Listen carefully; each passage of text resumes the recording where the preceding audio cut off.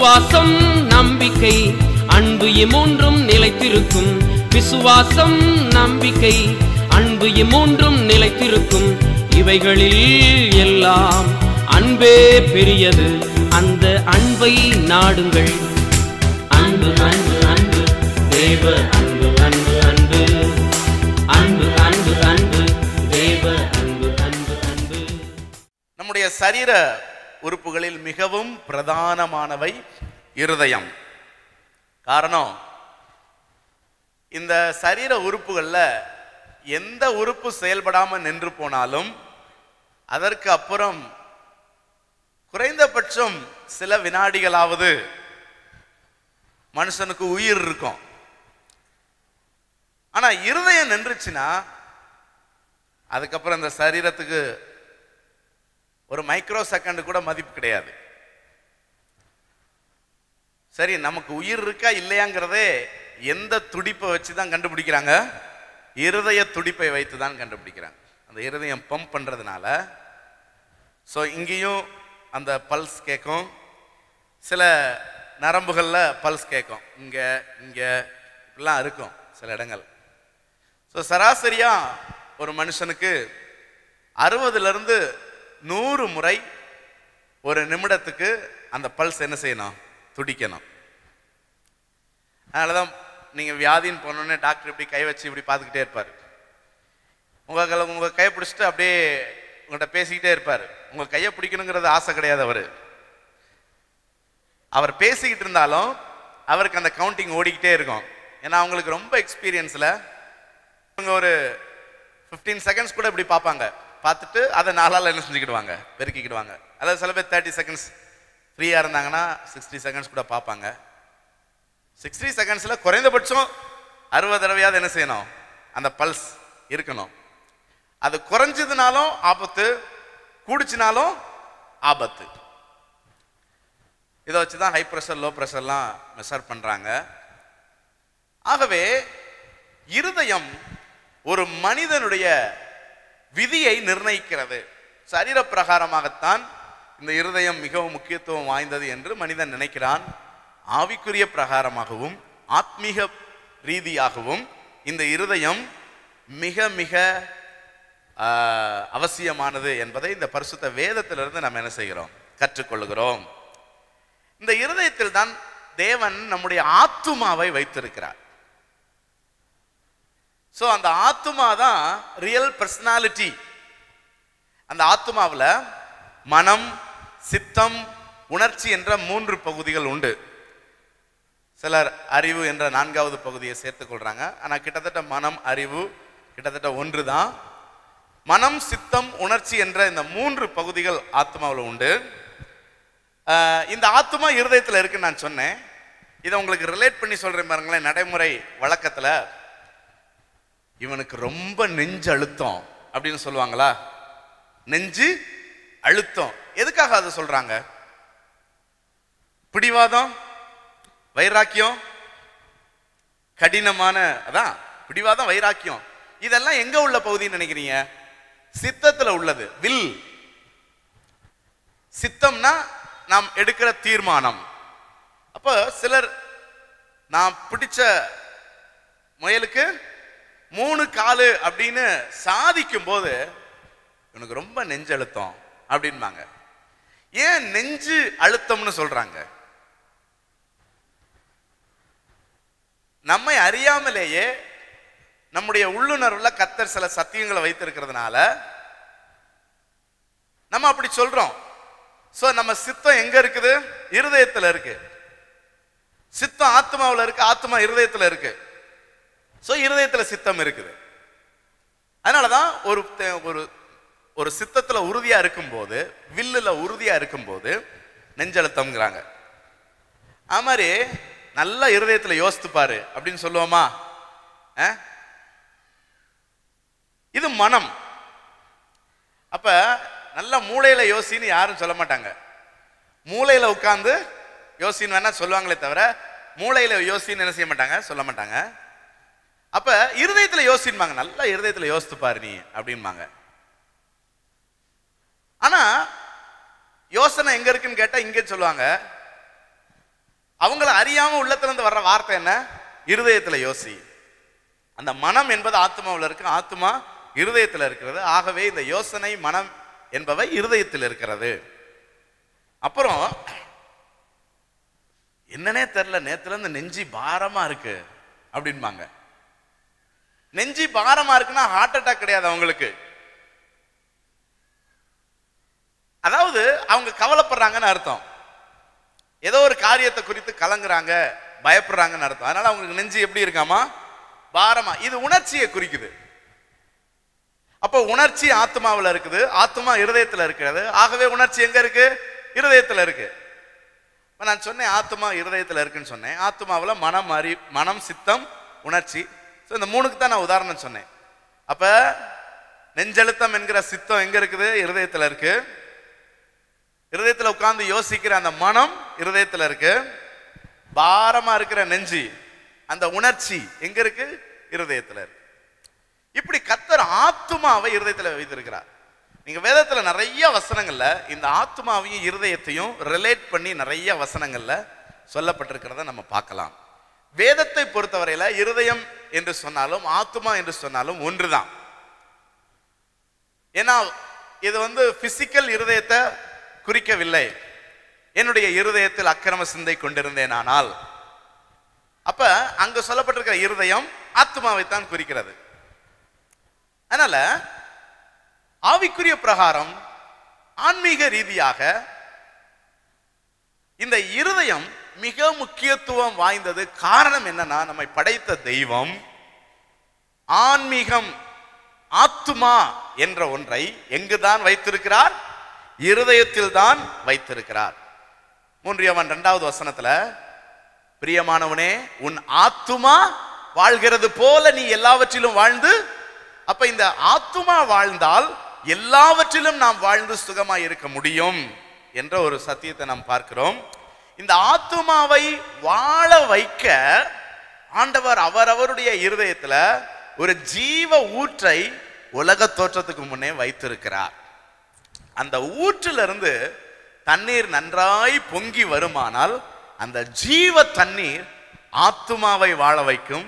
அதற்கப்புறம் நம்முடைய வாழ்க்கையின் எல்லா பகுதியையும் வாழ வைக்கும்.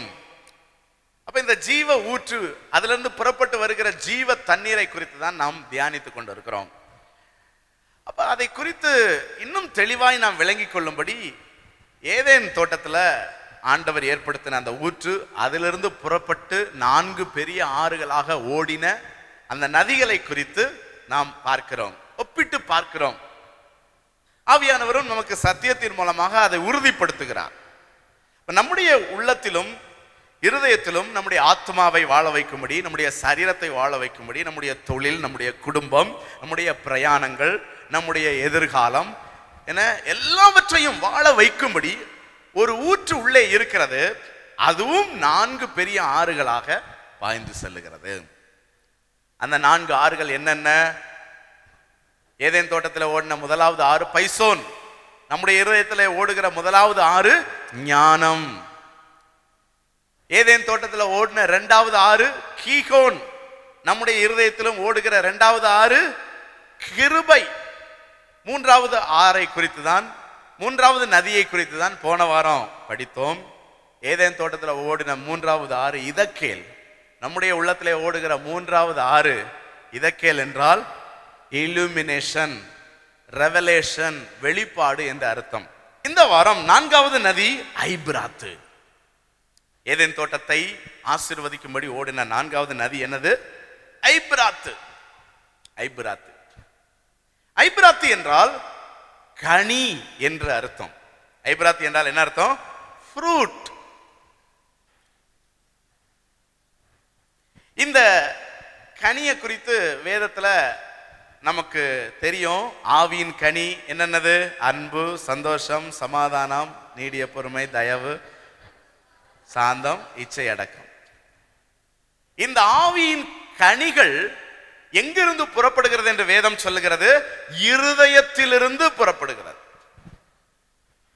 வேதத்தில் ஆவியின் வரங்களுக்கும் ஆவியின் கனிகளுக்கும் ஈக்குவல் இம்பார்ட்டன்ஸ் கொடுத்துருக்குது.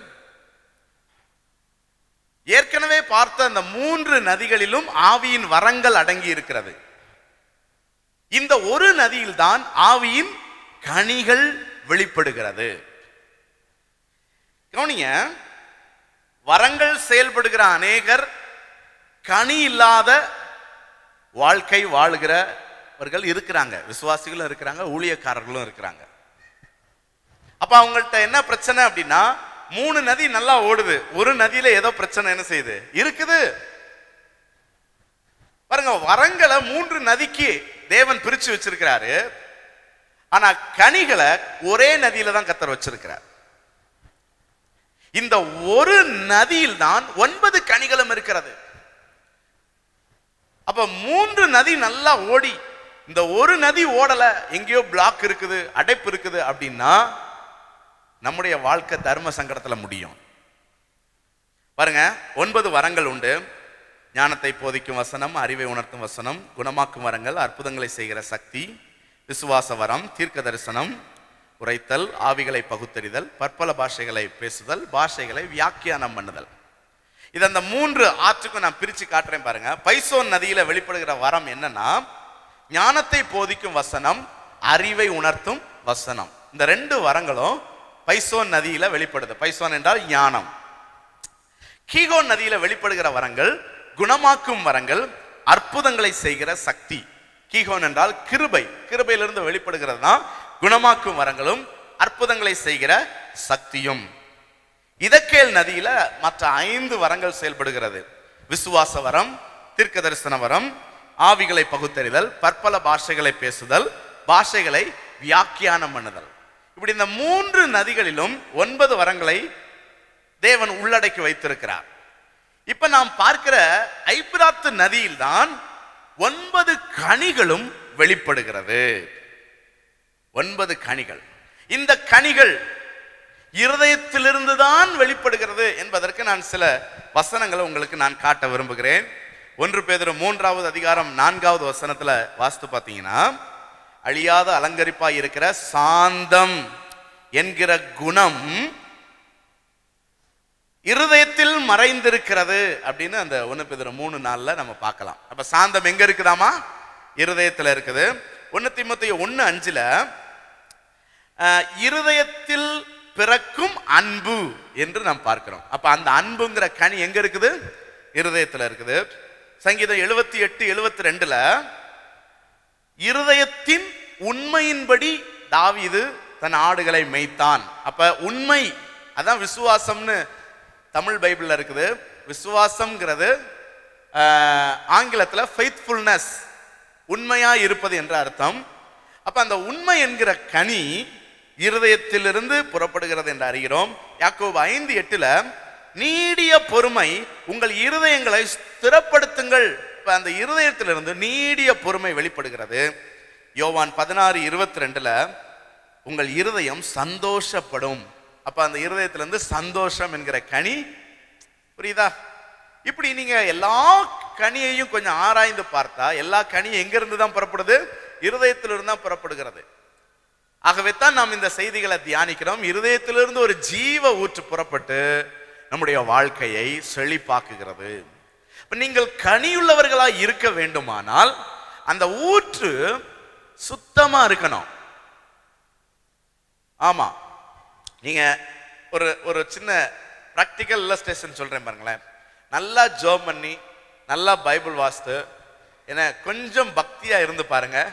உங்களை மாதிரி நல்லவன் நானா இவ்வளோ நல்லவனாக இருக்கிறேன்னு நினைக்கிற அளவுக்கு நல்லவனாக இருப்பீங்க. வேதம் வாசிக்காம ஜெபம் பண்ணாமல் ஒரு நாளில் இருந்து பாருங்க அன்னைக்கு சல்லு சல்லு சல்லுன்னு எரிச்சல் என்ன செய்யும்?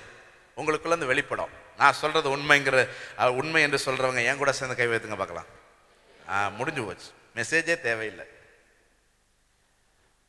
சிம்பிள் அப்ப ஜெபம் வேத தியானம் பரிசுத்த சிந்தை நம்முடைய இருதயத்திலிருந்து புறப்படுகிற அந்த ஜீவ ஊற்றை தூய்மையாக வைக்கிறது. அதிலிருந்து கனிகள் வெளிப்படுகிறது. அந்த இருதயம் புறப்படுகிற அந்த ஊற்று அடைக்கப்படுமானால் மாசுபடுமானால் அதில் குப்பைகள் சேருமானால் அதிலிருந்து கசப்பான தண்ணீர் என்ன செய்யுது? வெளிப்படுகிறது. கசப்பான கனிகள் வெளிப்படுகிறது. நீங்க வெளிப்படுத்துற விசேஷம் இருபத்தி ரெண்டாவது அதிகாரம் ஒன்னாவது வசனத்துல சிங்காசனத்திலிருந்து ஒரு ஜீவ தண்ணீர் உள்ள சுத்தமான நதி புறப்பட்டு வருகிறதை பார்க்கிறோம். அந்த நதியின் இரு கரைகளிலும் பனிரெண்டு விதமான கனிகளை தருகிற ஜீவ விருட்சம் இருக்கிறது. அந்த விருட்சத்தின் இலைகள் ஜனங்கள் ஆரோக்கியம் அடைகிறதற்கு ஏதுவானவைகள். நல்ல கவனிங்க. ஜீவ ஊற்று உங்களுக்குள்ள இருந்து புறப்பட்டு அது நதியா ஓடினா அந்த நதியின் இரு கரைகளிலும் ஜீவ விருட்சங்கள் உண்டாகும். அந்த ஜீவ விருட்சங்களுடைய கனி புசிப்புக்கு நல்லது இலைகள் மருந்தாகும். அதனாலதான் இந்த நதி நல்லா ஓடிச்சுன்னா நீங்களும் ஆரோக்கியமா இருப்பீங்க ஹெல்த்தியா இருப்பீங்க வெல்த்தியா இருப்பீங்க. உங்க கூட இருக்கிறவங்களையும் நீங்க ஆரோக்கியமாக்குவீர்கள் ஆசீர்வாதமாக மாற்றுவீர்கள். இந்த நதி இல்லைன்னா நாமும் வறண்டு போயிருப்போம் நம்மை சுற்றி எல்லா இடங்களிலும் வறட்சியை உண்டாக்குவோம். அதனால தான் பைபிளில் போட்டிருக்கு மன மகிழ்ச்சி நல்ல ஔஷதம்.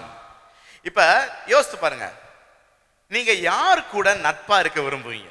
எந்நேரமும் எரிஞ்சு விழுற கோபப்படுகிற ஆத்திரப்படுகிற அவசரப்படுகிற ஒருத்தன் ஒருத்தர்கிட்ட நீங்க நண்பரா இருக்க விரும்புவீங்களா? எப்போது சந்தோஷமா இருக்கிற பிறரை சிரிக்க வைக்கிற ஒருத்தர்கிட்ட நீங்க நட்பா பாசமா இருக்க விரும்புவீங்களா? ரொம்ப நீளமான கேள்வி போலன்னு ஸோ இது பேப்பர் கொடுத்தா தான் உங்களால் எழுத முடியும். ஓகே முதல் ஆப்ஷன் ரெண்டாவது ஆப்ஷன் வச்சுக்கிடுவோமா? முதல் ஆப்ஷன்லாம் கை வைத்துங்க பார்க்கலாம். ரெண்டாவது ஆப்ஷன்லாம் கை வைத்துங்க பார்க்கலாம். அப்பா புரிஞ்சிருச்சு உங்களுக்கு. உண்மை அதுதான் அப்ப மனமகிழ்ச்சிங்கிறது எப்படி வெளிப்படும்? இந்த ஐபராத் நதி ஓடணும். அந்த நதிக்கரையில் கனிகள் என்ன செய்யணும்? வெளிப்படணும். அப்ப அதுல இருக்கிற இலைகள் நமக்கு மருந்து மனமகிழ்ச்சி மருந்து. ஔஷதம்னா என்ன அர்த்தம்? மருந்து. கத்தருக்குள் மகிழ்ச்சியா இருப்பதே நம்முடைய பலன். அப்ப கனி மற்றவர்களுக்கு இலை நமக்கு. யோசித்து பாருங்க. எங்கெல்லாம் கொடுக்காப்புளி மரம் உண்டோ அங்கெல்லாம் கல்லறிகிற சிறுவர்கள் கூட்டமாக இருப்பார்கள். இப்பெல்லாம் பையங்களுடைய டேஸ்ட் மாறிடுச்சு நாங்கள்லாம் புளியம்பழத்தை அடித்து சாப்பிட்ட கூட்டம். ஆமாம் புளியம்பழம் தொங்கிடக்கூடாது. கல்லை விட்டு எரிஞ்சு கண்ணாடி கண்ணாடியெல்லாம் உடைச்சு. ஆமாம் கனி எங்கு உண்டோ அங்கே ஆட்கள் கூடுவார்கள். புரியுதா நான் உங்களுக்கு சொல்றது? அதனால கனி தாங்க நம்ம பக்கம் ஆட்களை இழுக்கும். குறிப்பா லீடர்ஷிப்ல உள்ளவங்களுக்கு இது ரொம்ப முக்கியமான ஒரு சத்தியம். ஏன்னா what is leadership leadership is nothing but influence செல்வாக்கு. மக்கள் மத்தியில் என்னுடைய செல்வாக்கு மக்கள் மத்தியில் என்னுடைய கவர்ச்சி உண்டாக வேண்டுமானால் கனி எனக்குள்ள இருந்து என்ன செய்யணும்? வெளிப்பட வேண்டும்.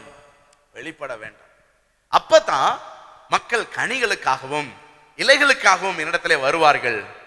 ஸோ அந்த கனி நமக்கு திருப்தியை கொடுக்கிறது அந்த இலைகள் நமக்கு ஆரோக்கியத்தை கொடுக்கிறது. ஆகவே இந்த ஐப்ராத் நதியினுடைய ஆசிர்வாதத்தை நான் உங்களுக்கு சொன்னேன்.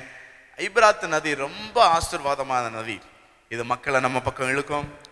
இது நம்மளை மற்றவர்களுக்கு ஆசீர்வாதமாக வைக்கும். இது நமக்கு நாமே ஆசீர்வாதமாக இருக்கிறதற்கு நம்மளை வைக்கும். ஆகவே கனி கொடுத்தல் அப்படிங்கிறத நம்ம ஏற்கனவே தியானிச்சிருக்கோம் பல முறை ஆனால் அதனுடைய இம்பார்ட்டன்ஸை வித்தியாசமான ரீதியிலே பரிசுத்தாவியானவர் நமக்கு கற்றுக் கொடுக்கிறார்.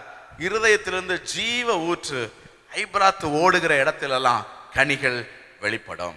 இந்த கனியினுடைய முக்கியத்துவம் நான்கை உங்களுக்கு நான் சொல்ல விரும்புகிறேன். ஏன்னா கனி கொடுக்கறது எப்படின்னு நான் போதிக்க வேண்டிய அவசியம் இல்லை. அது தானா உள்ளத்துலேருந்து என்ன செய்யுது ஊறி வருது. நீங்க இந்த முக்கியத்துவத்தை தெரிந்து கொண்டா உங்க இருதயத்தை நீங்க பாதுகாத்துக்கிடுவீங்க அவ்வளவுதான்.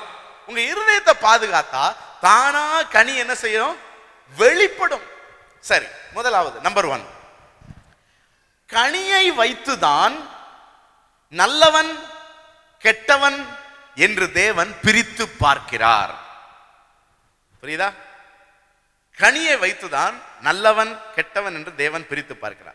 மத்திய பன்னிரெண்டாவது அதிகாரம் முப்பத்தி மூணுல இருந்து நான் வாசி பாருங்க. மத்திய பன்னிரெண்டு முப்பத்தி மூணுல இருந்து மரம் நல்லதென்றால் அதன் கனியும் நல்லதென்று சொல்லுங்கள். மரம் கெட்டதென்றால் அதன் கனியும் கெட்டதென்று சொல்லுங்கள். மரமானது அதன் கனியினால் அறியப்படும்.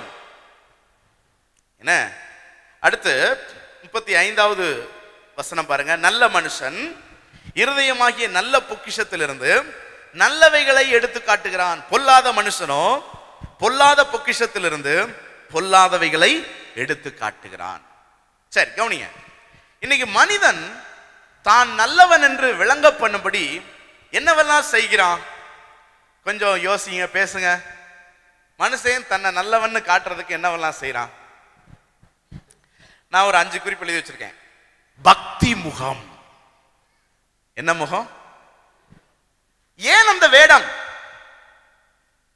தன்னை ஊர் நல்லவென்று சொல்லணும்.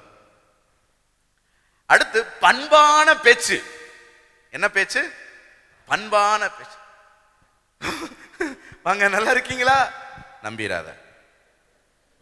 அதனாலதான் இந்த போன்ல சத்தத்தை கேட்டு எந்த வாலிபனும் என்ன செஞ்சிடாத? ஃபோனில் மட்டும் இல்லை ஆமாம் ஃபோனில் தான். நேர்லையும் தான் அண்ணா எந்த பொண்ணும் சிரித்து பேசுனா என்ன செஞ்சிடாத? மயங்கிறாத. நீங்கள் தான். எந்த பொண்ணும் சிரிச்சு பேசுனா மயங்கிறாதீங்க. ஆமாம் ஏன்னா பண்பான பேச்சு ஒருவன் அல்லது ஒருத்தி தன்னை நல்லவன் நல்லவள் என்று உலகத்துக்கு காட்டுவதற்காக போடுகிற வேடம். நான் சொல்றது உங்களுக்கு புரியுதா? ஆமா. இன்னொன்று என்னது? பசையான சிரிப்பு. இதுவும் உங்களுக்கு புரிஞ்சுக்கிட தெரியும். அதாவது சிரிச்ச உடனே நம்மளை அப்படி ஒட்ட வைக்கும். அடுத்து பச்சமான கேள்வி. நல்லா இருக்கிறீங்களா? வீட்டில எல்லாம் சுகமா இருக்கிறாங்களா? பிள்ளைகள் எப்படி இருக்கிறாங்க? நல்லா படிக்கிறாங்களா? ஏன் உனக்கு இந்த அக்கறை? உடனே அவன் நல்லவன் நம்ம என்ன செய்வோம்? நம்பிடுவோம். பரவாயில்லையா நம்மளை இந்த அளவுக்கு விசுவாசிக்கிறாங்க விச- இந்த அளவுக்கு விசாரிக்கிறாங்களே. இப்படி யாராவது ஓவரா விசாரிச்சா ஒரு ஐம்பது ரூபா தாங்கன்னு கேளுங்க. அவங்க உண்மை ரூபம் என்னன்னு என்ன செஞ்சிடும் இவ்வளோ விசாரிக்கிறீல. நான் நல்லா இல்லைன்னா என்ன செய்வேன் போய் பிரெட் பாக்கெட் வாங்கிட்டு வருவியா? ஆ? என் குடும்பம் கஷ்டப்படுதுன்னா ஒரு ஆயிரம் ரூபா தந்துருவியா நீ? யோசித்து பாருங்க. இதெல்லாம் உங்களை பற்றி சொல்லலை. நீங்களாம் ரொம்ப நல்லவங்க இயற்கையாகவே மனிதன் பொதுவா நல்லவன் என்று காட்ட அது மாதிரி பலமான உபசரிப்பு. சில நேரங்களில் நம்மளை பலமா உபசரிப்பாங்க. சரி விருந்துக்கு கூப்பிட்டு இப்படி உபசரிக்கிறாங்கன்னு அடுத்த நாள் வந்து பாருங்க. நான் தான் வந்தேன் இல்லை சாப்பிட. நான் தான். ஆ? உட்காருங்க. டீ குடிக்கிறீங்களா காப்பி குடிக்கிறீங்களா? சரி அன்னைக்கு டீ காப்பியோட நின்று போகும் அடுத்த நாள் வந்து பாருங்க. என்ன டெய்லி வரீங்க? கொஞ்சம் யோசித்து பாருங்க. நீங்க போறவங்களா இல்லாம நீங்க உபசரிக்கிறவெல்லாம் இருந்து யோசித்து பாருங்க. ஒரு நாள் பாஸ்டரை கூப்பிட்டு உபசரிக்கிறீங்க. வா நான் முப்பது நாள் வரேன். என்ன பண்ணுவீங்க?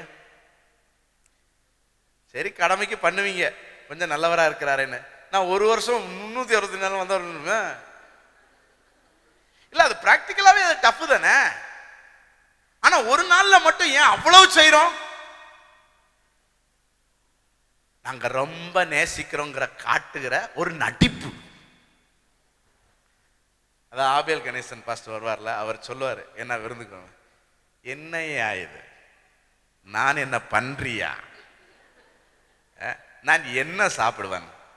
ஒரு சோறு ஒரு சாம்பார் ஒரு கூட்டு. இது யாருக்குயா இவ்வளவு டேபிள் நிறையா? சொல்லுங்க பார்க்கலாம். இது ஒரு நாள் கூத்து. இதே இது டெய்லி வந்தீங்கன்னா ரசம் ஊறுகாய் ஏன்னா ப்ராக்டிக்கல் இப்போ நம்ம டெய்லி சாப்பிட்றோம். டெய்லி விருந்தா சாப்பிட்றோம். பாதி நாள் மறந்ததான் என்ன செய்யறோம் சாப்பிடுறோம். ஆனா ஒரு நாள் நம்ம அப்படி ஹெவியா கவனிக்கிறதுக்கு காரணம் என்னன்னா நம்மளை பத்தி நல்லா நினைக்கணும் அவங்க. செய்யலன்னு சொல்லுங்க பார்க்கலாம் யாருமே. எல்லாருமே அதாங்க செய்றோம். வெரி பிராக்டிக்கல் ஆனால் தேவன் நல்லவன் கெட்டவன் என்பதை எப்படி கணக்கிடுகிறார்? மரம் அன்பானால் அதிலிருந்து வெளிப்படுகிற கனி அன்பா இருக்கும். வம்பா இருக்காது. இதை இதை நீங்க மாத்தி சொல்லுங்க பார்க்கலாம். கனி அன்பானால் மரமும் எப்படித்தான் இருக்கும்? அன்பா தான் இருக்கும். ஒரு நாள் வெளிப்படுகிற கனியை புசிக்கும் போது ஓ அன்பு. அப்ப அந்த மரம் முழுசும் நீங்க கொத்தி பாருங்க. மரம் முழுசும் அந்த சுவை இருக்கும் அந்த அன்பு வெளிப்படும். மரம் சாந்தமானால் கனியும் சாந்தமா இருக்கும் கோபப்படாது. மரம் உண்மையானால் கனியும் உண்மையாயிருக்கும். அதிலே கள்ளம் இருக்காது. ஆண்டவர் சொல்லுகிறார் மரம் கெட்டதா இருக்க அது நல்ல கனி கொடுப்பது எப்படி? யாருக்கு சொன்னார்? வேதபாரகர் பரிசெயர். அவங்களை எப்படி திட்டினார் தெரியுமா? வேதபாரகர் பரிசெயர் அவங்க ஊழியக்காரங்க. அவங்க என்ன செய்வாங்க? ஒரு நல்ல அதுக்குன்னு யூனிஃபார்ம் போட்டிருப்பாங்க. எல்லாத்தையும்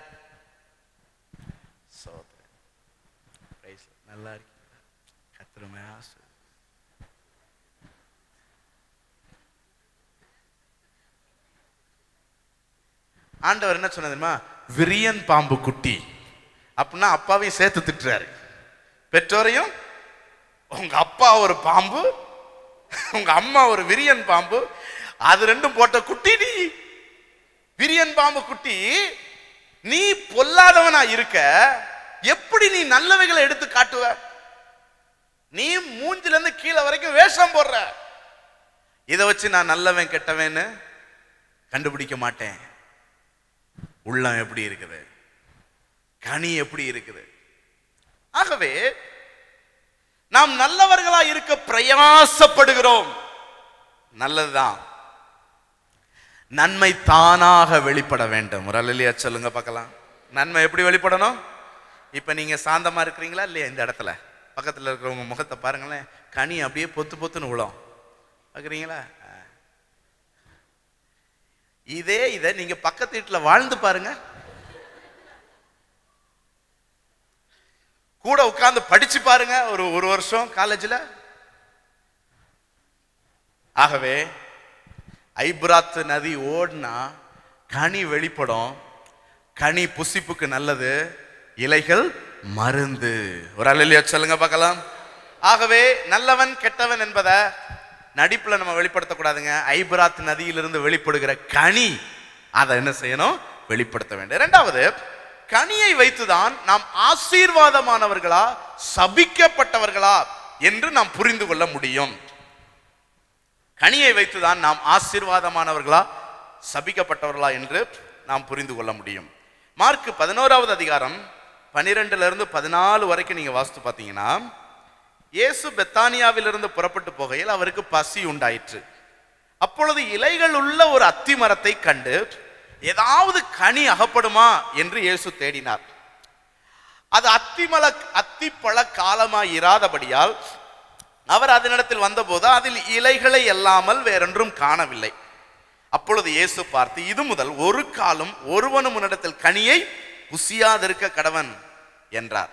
சீசர்கள் அதை கேட்டார்கள். இருபதாவது வசனத்துக்கு வந்தீங்கன்னா மறுநாள் காலையில் இயேசு வழியாய் போகும்போது அந்த அந்த அத்தி மரம் வேரோடு பட்டு போயிருந்ததை கண்டார்கள். பேதுரு நினைவு கூர்ந்து அவரை நோக்கி ரபி இதோ நீர் சபித்த அத்திமரம் பட்டு போயிற்று என்றார். நல்ல கவனிங்க. நம்முடைய ஆசீர்வாதத்தை எதை வைத்து எடை போடுகிறோம்? நான் ஆசீர்வாதமா இருக்கிறேன் அப்படிங்கிறத எதை வச்சு எடை போடுறோம்? அப்படின்னா ஒரு மூன்று பேசிக்கான காரியம். ஆஸ்தி அந்தஸ்து அழகு. இந்த மூணும் இருந்தா ச்சே பெரிய பாக்கியசாலின்மோ என்ன? ஆஸ்தி இருக்கு அந்தஸ்து இருக்கு அழகு இல்லை அப்படின்னா பாரு இவளுக்கெல்லாம் ஆண்டவன் இதை கொடுத்து வச்சிருக்கான் பாரு அப்படின்போம். ஆஸ்தி இருக்கு அந்தஸ்தும் இல்லை அழகும் இல்லைன்னா இவனுக்கெல்லாம் எதுக்கு பணம்?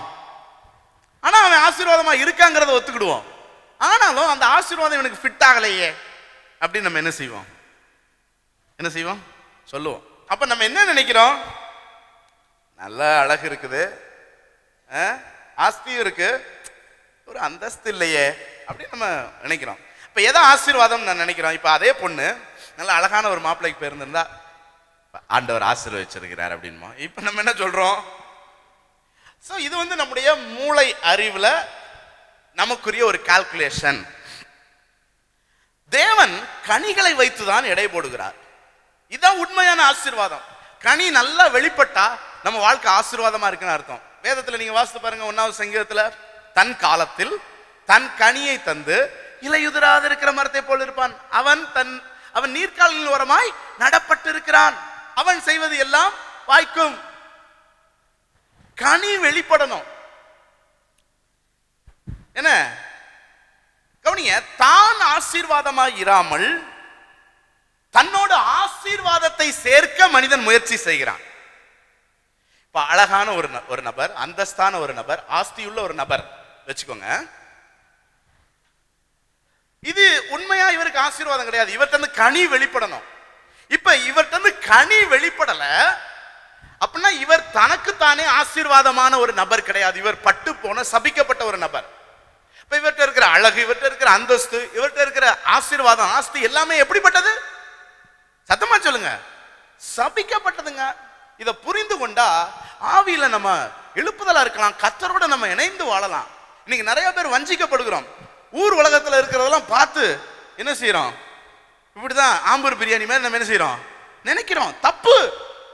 கனி கொடுக்கிற ஒரு விசுவாசி லாசர் போல தரித்திரனா இருந்தாலும் அவன் தனக்குத்தானே ஆசீர்வாதமானவன். தனக்குத்தானே ஆசீர்வாதம் இல்லாமல் சபிக்கப்பட்ட வாழ்க்கை வாழ்கிற ஐஸ்வர்யவான் இந்த உலகத்துல ஆடம்பரமா வாழ்ந்தான். முடிவு என்ன? இன்னைக்கு கத்த ரெண்டு விதத்துல கத்த நம்மை ஆசிர்வதிக்க விரும்புகிறார். கனி கொடுத்து நாம் நமக்கு நாமே ஆசிர்வாதமா இருக்க வேண்டும். பிறரை ஆசீர்வதிக்க வேண்டும். ஒரு சொல்லுங்க பார்க்கலாம். நான் ஒரு பணம் தான் ஆசீர்வாதம்னு வச்சுக்கோங்களேன். அன்பு இல்லாத பணக்காரன் எல்லாரையும் அடிப்பான். சந்தோஷம் இல்லாத பணக்காரன் எப்பொழுதும் குடிப்பான். சமாதானம் இல்லாத பணக்காரன் சிற்றின்பத்தில் மூழ்கி கிடப்பான். பொறுமை இல்லாத பணக்காரன். நான் இதெல்லாம் என்ன சொல்றேன்? ஆவியின் கனியை பட்டியலிடுறேன் இந்த சைடு பொறுமை இல்லாத பணக்காரன் எரிந்து விழுவான். தயவில்லாத பணக்காரன் ஏழைகளை பரியாசம் பண்ணுவான். குணமில்லாத பணக்காரன் கொடூரனாய் இருப்பான். உண்மை இல்லாத பணக்காரன் திருடனாய் இருப்பான். சாந்தம் இல்லாத பணக்காரன் கொலைகாரனா இருப்பான் இச்சை அடக்கம் இல்லாத பணக்காரன் சீக்கிரத்தில் சாவான். நான் சொல்றது உண்மையா இல்லையா? இவங்களுக்கெல்லாம் பணம் இருக்குது. அதை ஆசீர்வாதம் என்று நின்னுகிறார்கள் ஆனால் கனி இல்லை. முடிவு என்ன? பரிதாபம் தானே? அதனால ஒரு நாளும் ஆஸ்தி அந்தஸ்து அழகா ஆசீர்வாதம் நினைக்காதீங்க. நான் கனியுள்ள வாழ்க்கை வாழ்றேனா? என்கிட்ட ஒரு கொஞ்சம் ரூபா இருந்தாலும் போதுங்க. மனமகிழ்ச்சி நல்ல ஔஷதம். புரியுதா? அதே நேரம் கத்த நம்மை ஆசிர்வதிக்கிறார். ஏன்னா மற்ற நதிகள்லாம் வரங்கள் பார்த்தீங்களா? அவைகள் நமக்கு ஆசீர்வாதத்தையும் ஐஸ்வர்யத்தையும் கூட்டுகிறது. ஸோ ஐப்ராத் நதி நம்மை நமக்கு நாமே ஆசீர்வாதமாக இருக்க செய்கிறது. ஆகவே நல்லா விளங்கிக்கோங்க. நான் தானே முதலில் ஆசீர்வாதமாக இருக்க வேண்டும்? ஆசீர்வாதத்தோடு ஆசீர்வாதம் சேர்ந்தால் தான் ஆசீர்வாதம். சாபத்தோடு ஆசீர்வாதம் சேர்ந்தால் சாபம். ஸோ இதுதான் perfect equation perfect formula blessing plus blessing is equal to blessing. Curse plus blessing is equal to curse சரியா? மூணாவது பாயிண்ட் போவோம். கனியை வைத்துதான் நாம் தேவ ராஜ்யத்தில் நாட்டப்பட்டவர்களா இல்லையா என்பது தெரியும். அந்த ஐபராத் நதி நமக்குள்ள ஓடி நமக்கு ஆவியின் கனிகள் நம்மிலிருந்து வெளிப்பட்டால் தான் நம்ம தேவ ராஜ்யத்தில் நாட்டப்பட்டவர்களா இல்லையா என்பது தெரியும். சங்கீதம் ஒன்று மூணுல அவன் நீர்க்கால்களின் ஓரமாய் நடப்பட்டு தன் காலத்தில் தன் கனியை தந்து இலையுதுராதிருக்கிற மரத்தை போல் இருப்பான். அவன் செய்வதெல்லாம் வாய்க்கும். இப்போ அவன்கிறத நீதிமான். பைபிளில் போட்டிருக்க. அடுத்த ஐந்தாவது வசனம் துன்மார்க்கர் நியாய தீர்ப்பிலும் பாவிகள் நீதிமான்களுடைய சபையிலும் நிலை நிற்பதில்லைன்னா நீங்கள் அதை யோசித்து பார்த்தீங்கன்னா அதில் என்ன சொல்லப்பட்டிருக்கு? கனி கொடுக்கிறவர்கள் சபையிலே நாட்டப்படுவார்கள். கனி கொடாதவர்கள் சபையிலிருந்து பிடுங்கப்படுவார்கள். அவர்களால் நிலைத்திருக்க முடியாது என்று அர்த்தம். தேவராஜ்யம் என்பது என்ன? ஆதாம் விழுந்த பின்பு உலகம் சாத்தானுடைய ராஜ்யமாய் மாறிவிட்டது. அதனால தான் இயேசு இந்த உலகத்துக்கு வந்தபோது அவன் தன் ராஜ்யத்தின் மகிமையை காட்டி இந்த இந்த இயேசு காலத்துலலாம் இந்த ராஜ்யம் யாருடைய ராஜ்யமா இருக்கு? பிசாசினுடைய ராஜ்யம். அதனாலதான் ஆண்டவரே சொன்னார் இப்பிரபஞ்சத்தின் அதிபதி என்னிடத்தில் வருகிறான். அப்ப இந்த ராஜ்யம் நாம் பார்க்கிற இந்த பிசிக்கல் கிங்டம் வந்து பிசாசினுடைய ராஜ்யம். இயேசு எதற்காக வந்தார்? தேவனுடைய ராஜ்யத்தை ஸ்தாபிக்க வந்தார். எங்கே ஸ்தாபிக்கிறார்? நம்முடைய உள்ளங்கள்லாம் ஸ்தாபிக்கிறார். யாருடைய உள்ளத்திலெல்லாம் இயேசு ராஜாவா இறங்கி வருகிறாரோ அவர்கள் எல்லாரும் தேவனுடைய ராஜ்யம். லூயா சரி. இப்ப அதுக்கு ஒரு பிசிக்கல் ஃபார்மை கத்தர் இந்த பூமியில கொடுத்திருக்கிறார். அதான் சர்ச் அது என்ன அப்படின்னா தேவனுடைய ராஜ்யம் கூடி வருகிற ஒரு இடம். என்ன? இந்த பில்டிங் இருக்குல்ல இதை சர்ச்சுங்கிறோம் இங்கே தேவனுடைய ராஜ்யமாக நாம் கூடி வந்திருக்கிறோம். இப்ப இந்த தேவனுடைய ராஜ்யத்துல யார் நாட்டப்படுகிறார்களோ அவர்கள் தான் பரலோக ராஜ்யத்திலும் என்ன செய்வாங்க? நிலைத்திருப்பார்கள். இந்த ராஜ்யத்தில் நிலைத்திராதவர்கள் இந்த சரீரமாகிய தேவனுடைய சபையில நிலைத்திராதவர்கள் பரலோக ராஜ்யத்திலும் நிலைத்திருக்க மாட்டார்கள். கவனிங்க அப்ப ஒரு சபையில நிலைத்திருப்பதற்கு கனி நம்மிடத்தில் உண்டாக வேண்டும். கனி நம்மிடத்தில் என்ன செய்யணும்? உண்டாக வேண்டும். கனி இல்லைன்னா ஒரு சபையில நாம் நிலைத்திருக்க முடியாது. கேர்சல் கூட ஃபார்ம் பண்றோம். யார் கேர்சல்ல நிலைத்திருக்க முடியும் அப்படின்னா கனி வெளிப்படுகிறவர்கள் தான் கேர்சல்ல என்ன செய்ய முடியும்? நிலைத்திருக்க முடியும். காரணம் இந்த சபைங்கிறது ஒரு டெம்பிள் கிடையாது. டெம்பிள்ல பார்த்துருக்கீங்களா பெருங்கூட்டம் வரும். ஆனா பக்கத்துல இருக்கிறவன் யாரு எவருன்னு இவங்க கவலைப்பட வேண்டிய அவசியம் இல்லை. அதனாலதான் பெரிய பெரிய கோயில்கள் எல்லாம் ஏறி மிதிச்சு கூட்டத்தில் நசுங்கி சாகிறவங்க நிறைய பேர் என்ன செய்கிறாங்க இருக்கிறாங்க. அது மாதிரி தான் கிறிஸ்தவர்களுக்கு புண்ணிய ஸ்தலங்கள்னு சில வீடுகள் தோட்டங்கள் காடுகள் மலைகள்லாம் என்ன செய்யுது? இருக்குது கோபுரங்கள் உட்பட. அதெல்லாம் இதே சம்பவம் தான் நடக்குது. ஆனால் சபைகள் பாருங்க. ஜெனியூன் ஜென்டில் அன்பு நிறைந்த இடம். சாந்தம் அமைதி சமாதானம். ஸோ இந்த கனிகள் உள்ள இடம்தான் சபை. அல்லது கனி உள்ளவர்கள் தான் சபையில் என்ன செய்ய முடியும்? நாட்டப்பட முடியும். கனி இல்லாதவங்க சபையிலே வேறொன்ற மாட்டார்கள். அப்படி பட்டும் படாம தொட்டும் தொடாம அப்படி இருப்பாங்க. ஒரு ஜஸ்ட் ஒரு பார்வையாளராக வந்து போய்கிட்டே இருப்பாங்க. நமக்கு இதுக்கு சம்பந்தமே இல்லை. நாம் நாட்டப்படும் போது தான் பரலோக ராஜ்யத்துக்குள்ள என்ன செய்ய முடியும்? செல்ல முடியும். சோ இதுக்கு தேவை என்னதுங்க? கனியுள்ள ஜீவியம் ஐப்ராத் நதி. ஒரு அல்லையா சொல்லுங்க பார்க்கலாம். சரி நான்காவதாக கடைசி. கனியை வைத்துதான் பரலோகம் செல்வோமா இல்லையா என்பது தெரியும். முதல்ல என்ன பார்த்தோம்? கனி இருந்தா தான் நல்லவனா கெட்டவனாங்கிறத நம்ம ஃபைனல் பண்ண முடியும். கனி இருந்தா தான் நம்ம ஆசீர்வாதமானவனா அல்லது நமக்கு நாமே சபிக்கப்பட்டவனா என்று தெரியும். மூன்றாவது கனி இருந்தா தான் நம்ம சபையில நாட்டப்பட்டவங்களா இல்லையா? நான்காவது கனியை வச்சு தான் நம்ம பரலோகம் போவோமா இல்லையாங்கிறது தெரியும்.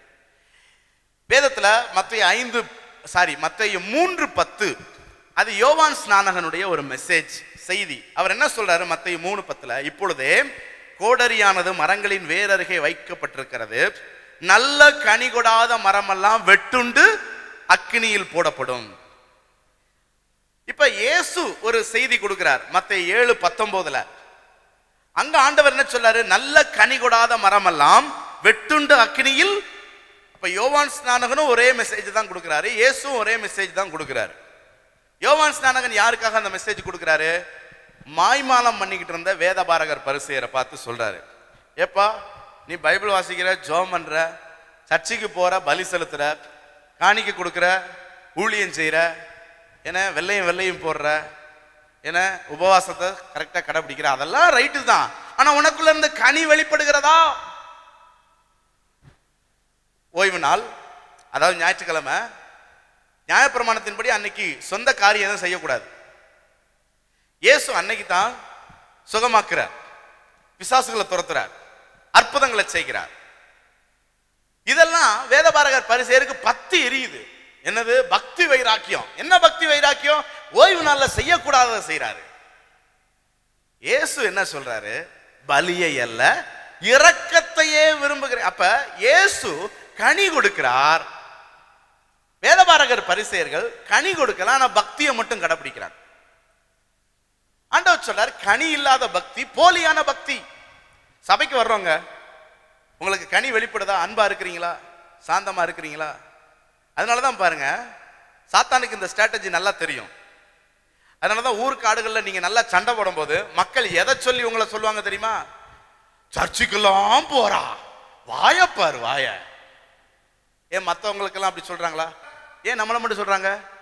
ஏன்னா it is a perfect strategy சர்ச்சைக்கு போனா தேவன் மேல பக்தியா இருந்தா யூ மஸ்ட் பியர் ஃப்ரூட் கனி கொடுத்து ஆக வேண்டும். உண்மை என்கிற கனி கொடுக்கணும். விட்டடிக்க மாட்டேன். ஏண்டா? எல்லாரும் விட்டடிக்கிறாங்களாடா? ஏ நான் சர்ச்சைக்கு போற வேண்டாம் பொய் சொல்ல மாட்டேன். ஏ நீ பெரிய யோக்கியனா? யோக்கியனா இல்லை எனக்கு தெரியாது. நான் சர்ச்சில் நாட்டப்பட்டிருக்கிறேன். நான் இதை செய்ய மாட்டேன். ஏன் எல்லாரும் செய்றாங்க? எல்லாரும் செய்யலாங்க. நான் சர்ச்சுக்கு போறவன். ஏன் நான் செஞ்சேன்னா நீ இதே தான் சொல்லுவேன் என்ன சொல்லுவ? சர்ச்சுக்கு போறா? சொல்லுவீல அதுக்கு முன்னாடி நான் சொல்லிக்கிறேன். நீங்க சர்ச்சைக்கு போறேன்னு சொல்லிட்டு கனி கொடுக்கலனா நீங்க கொடுக்காத கனியை பத்தி சர்ச்சைக்கு போறேன்னு சொல்லி யார் சொல்லுவா? சாத்தான் சொல்லுவான். கேவலப்படுத்துவான் அவமானப்படுத்துவான். எது ரைட் எதை நம்ம செய்யலாம்? சபைக்கு போறோம் பக்தியா இருக்கிறோம். கனி கொடுக்கணும். அடுத்து இயேசு யாரை பத்தி சொல்றாரு? நல்ல கனி கொடாத மரமெல்லாம் வெட்டுண்டு அக்னியில் போடப்படும்னா கள்ள தீர்க்கதரிசிகள் கள்ள விசுவாசிகள் கள்ள ஊழியக்காரங்க. கிட்டத்தட்ட அதே குரூப் தான். விசுவாசி விசுவாசி. ஊழியக்காரன் கள்ள ஊழியக்காரன்.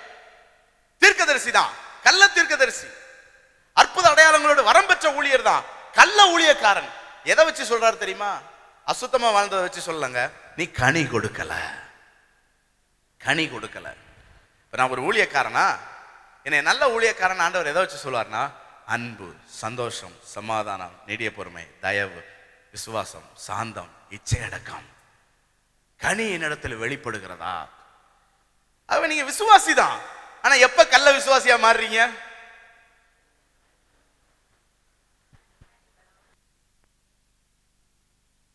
சொல்லுங்க. கனி கொடுக்கும் போது எங்க நல்ல விசுவாசிகள்லாம் கை வைத்துக்க அல்ல இல்லையா? சொல்லுங்க பார்க்கலாம். நீங்க கனி கொடுக்கலனா என்ன விசுவாசி? கள்ள விசுவாசிங்க. ஹலோ திரும்ப ஆவியானுடைய துணையோட நான் உங்களை பாரப்படுத்துறேன். நீங்க வீட்டில் தொழில் ஸ்தலத்துல அல்லது கேர்சல்ல எரிஞ்சு விழுறீங்களா? விசுவாசின்னு சொல்லாதீங்க. ஊழியம் செய்யறேன்னு சொல்லாதீங்க. ஒரு தயவா மற்றவங்கள்ட்ட ஜென்டிலா இருக்க முடியலையா? நோ யூஸ் இச்சை அடக்கம் ரொம்ப வேணும். நீடிய பொறுமை ரொம்ப வேணும். சந்தோஷம் தெரியணுங்க. எப்பவும் ஒரு சமாதானம் இருக்கணுங்க. எந்த சூழ்நிலையிலையும். கனி. இதுக்கு நீங்க முயற்சி பண்ணக்கூடாது. நான் ஏற்கனவே சொல்றேன்னா அது நடிப்பு. போலியானது உலகம் முழுசும் அதான் பண்ணிட்டு இருக்கிறான். ஐபராத்து நதி ஓடிச்சுன்னா தானா கனி என்ன செய்யும்? வெளிப்படும். அதுக்கு என்ன பாஸ்டர் செய்யணும்? இருதயத்தை சுத்தமா வச்சுக்கோ பாதுகாப்பா வச்சுக்கோ. எப்படி பாஸ்டர் டெய்லி காலைல வச்சு ஜோம் பண்ணுங்க. குடும்ப ஜோம் பண்ணுங்க. வேதம் வாசிங்க. நல்ல சிந்தையோட இருங்க.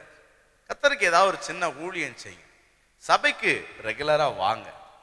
கத்தருக்கு நல்லா கொடுங்க. ஊ- க- ஊழியத்தை நீங்கள் தாங்குங்க. ஒரு சுத்த மனசாட்சியோட நீங்கள் வாழுங்க. அவ்வளோதான் உங்க இருதயம் பாதுகாக்கப்படும். கனி என்ன செய்யும்? வெளிப்படும். இதெல்லாம் செய்யாம இருந்து பாருங்க. உங்களுக்கு உங்களையே பிடிக்காது. எத்தனை பேருக்கு உங்களுக்கு உங்களையே பிடிக்காத நாட்கள்லாம் இருந்திருக்கு? என் கூட சேர்ந்து கை வைத்துங்க பார்க்கலாம். எல்லாத்துக்கும் என்ன செட்டு சேர்க்குறீங்க. உண்மைதாங்க. பல நாட்கள் எனக்கு என்னையவே பிடிச்சிருக்காது. என்ன ஊழியம் ஊழியம்னு ஓடுவோம். உட்காந்து ஜோமனி பைபிள் வாசிக்காத நாட்கள் இருந்திருக்குது. ஆமாம் நாங்களும் மனுஷர் தானே. ஆமாம் ஆனால் எங்களுக்கு நல்லா தெரியும். இன்னைக்கு ஏன் குடும்பத்தில் எரிஞ்சு விழுறோம்? இன்னைக்கு ஏன் வேலைக்காரங்கிட்ட எரிஞ்சு விடுறோம் இன்னைக்கு ஏன் நமக்கு விசுவாசம் வரமாட்டேங்குது? இன்னைக்கு ஏன் உண்மை இல்லாத தன்மை இருக்குது அப்படின்னு பார்த்தா இருதயத்தில் அந்த ஊத்து என்ன செஞ்சிருது? அடப்பட்டுருது. அடப்பட்டுருது. ஐபராத்து நதி ஓடிச்சுன்னா இந்த ஊத்து தாராளமாக என்ன செய்யும்? ஓடும். பாருங்க நமக்கு வர்ற எல்லா சோதனைகளும் கனி வெளிப்படுதா இல்லையாங்கிறதுக்கான பரீட்சை தான். யோபுக்கு வந்த சோதனை நீடிய பொறுமைக்கான ஒரு பரீட்சை. தானியல் யோசேப்பு இயேசுவுக்கு வந்த சோதனை இச்சை அடக்கத்துக்கான ஒரு பரீட்சை. மோசைக்கு வந்த சோதனை சாந்த குணத்துக்கான பரீட்சை. தாளந்துல கத்தர் உண்மைக்கான பரீட்சை வைக்கிறார். இதுல யோபு பரீட்சையில ஜெயித்தாரா பாஸ் ஆனாரா எப்படி பாஸ் ஆனார் நீடிய பொறுமை. தானியல் இயேசு யோசிப்பு போன்றவர்கள் இச்சையடத்துக்கத்துக்கான பரீட்சையில பாஸ் ஆனாங்களா இல்லையா? எப்படி? இச்சையடக்கம் கனி கொடுத்தல். மோசைக்கு சாந்த குணத்தில் ஒரு பரீட்சை வந்துச்சு. பாஸ் ஆனாரா? பாஸ் ஆனார் தாளந்தில் கத்தர் எல்லாருக்கும் பரீட்சை வைக்கிறார். அதில் அந்த ஐந்து தாளந்து பெற்றவனும் ரெண்டு தாளந்து பெற்றவனும் பாஸ் ஆயிட்டாங்க. ஒரு தாளந்து பெற்றவன் என்ன செய்யல? பாஸ் ஆகலை. ஆகவே கனிகள் ரொம்ப முக்கியம். கடைசியாக நான் சொல்லி முடிக்கிறேன். இந்த ஐபராத்து நதி நம்மை நல்லவர்களாய் வாழ வைக்கிறது. இந்த ஐபராத்து நதி நம்மை ஆசீர்வாதமானவர்களாய் வாழ வைக்கிறது. இந்த ஐப்ராத் நதி தேவனுடைய சபையிலே நம்மை நாட்டப்பட்டவர்களாக ஆக்குகிறது. இந்த ஐப்ராத் நதி தான் நம்மை பரலோக ராஜ்யத்தில் சேர்க்கிறது. இந்த கள்ள ஊழியக்காரங்க வந்து உங்களுடைய நாமத்தினாலே அற்புதம் செய்தோம். அடையாளங்களை நடப்பித்தோம்னு சொன்னபோது உங்களை அறியேன். உங்களுக்கு பரலோக ராஜ்யத்தில் என்ன கிடையாது? இடம் கிடையாதுன்னு ஆண்டவர் சொன்னார். ஒரு ஊழியக்காரனுக்கு அந்த நிலமனை விசுவாசிக்கு என்ன நிலமன்னு கொஞ்சம் யோசித்து பாருங்க. அப்போ ஆண்டவர் நம்மிடத்திலிருந்து கனி எதிர்பார்க்கிறார். ஆண்டவர் நம்மிடத்தில் என்ன எதிர்பார்க்கிறார்? கனி எதிர்பார்க்கிறார். எத்தனை பேர் ஆண்டவரே என்னுடைய இருதயத்தில் அந்த ஐபராத் நதி ஓடட்டும் ஆண்டவரே. தடைபற்றக்கூடாது. என் இருதயத்தை நான் பாதுகாத்துக்கிறேன். என் வாழ்க்கையில் கனி வெளிப்படட்டும்னு. எத்தனை பேர் ஜெர்மனை விரும்புகிறீங்க அப்படி எல்லாரும் முழங்கால் படிடுவோமா ஹாலையில்